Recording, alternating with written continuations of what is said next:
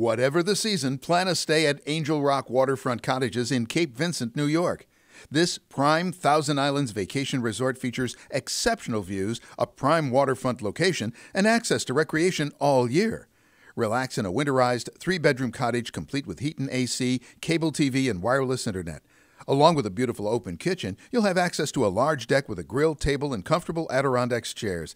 Enjoy fishing, snowmobiling, or cross country skiing. Angel Rock Waterfront Cottages open year round.